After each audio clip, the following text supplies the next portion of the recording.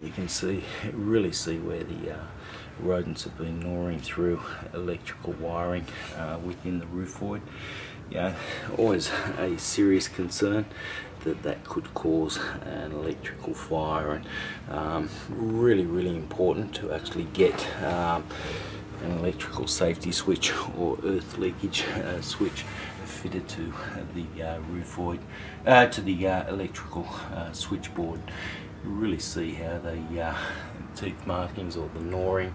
of uh, the rodents has gone right through onto the copper cable in some of these areas. And uh, you know they uh,